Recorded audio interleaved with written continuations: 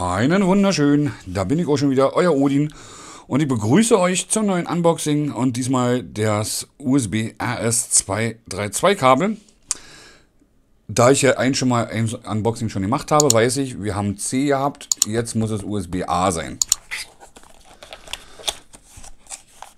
Die Länge brauche ich jetzt nicht nochmal. Ich werde doch die Videos dicht machen, also ich werde die hintereinander veröffentlichen. Ist blöd, wenn ich da zwei Tage warte.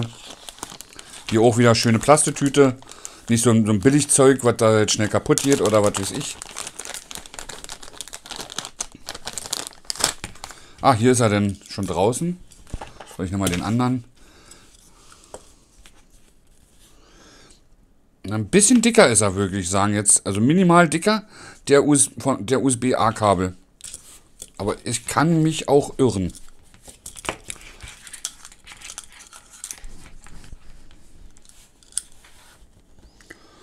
Na, hier oben nicht. Also hier sieht es exakt gleich aus.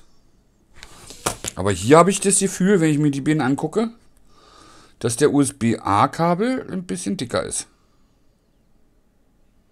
Kann aber auch natürlich täuschen. Auch hier haben wir wieder die LEDs, bei, bei, wie beim anderen auch. Also hier ist der USB-C. Hier haben wir auch wieder die LEDs. Auch hier ist wieder zum Schrauben ja, hier geht rein und raus die Schraube. Hier halt hoch, vor, vor und dann kann man drehen und dann wird es fest. Genau der gleiche Anschluss. Ja, Kabel scheint genauso lang zu sein. Und wir haben halt einmal USB-C und einmal USB-A. Ich mache aber den Kabel mal auf und gucke nochmal nach. Und wie beim USB-C-Video schon gesagt, ich habe leider nicht die Möglichkeit, irgendein Gerät da anzuschließen, weil ich kein Gerät habe, was das unterstützt, beziehungsweise was diesen Kabel braucht. Aber ein Stück länger würde ich sagen. Ich vergleiche ich vergleich mal. Aber ich telefoniere noch weiter rum. Vielleicht habe ich ja das Glück und erwische irgendwo einen, der noch was hat, wo man das anschließen kann, um zu gucken, ob es funktioniert.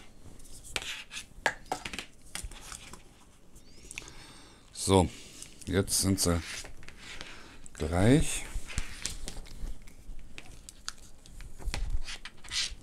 Komme ich mit meinem Mikrofonkabel durcheinander? Ne, sind exakt gleich. Da hat mich das Auge wohl geirrt. Getäuscht. So, dann machen wir das hier alles wieder zu.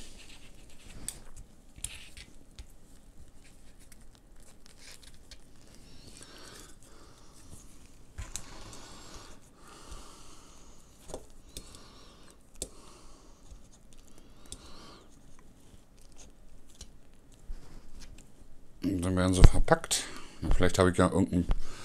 Vielleicht meldet sich ja einer, der sowas brauchen kann.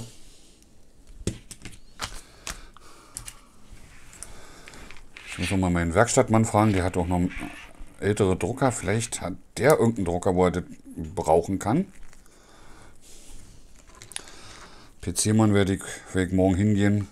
Vielleicht hat der was zum Testen, dass ich das zeigen kann.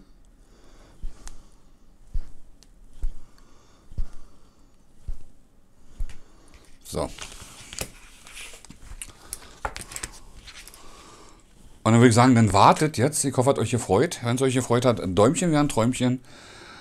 Ja, leider kann ich mehr dazu nicht machen, weil ich habe nichts, was, aber auch wirklich gar nichts, was da irgendwie kompatibel ist. Tut mir echt leid. Aber nichtsdestotrotz, bis zum nächsten Mal. Ahoi, sagt euer Odin.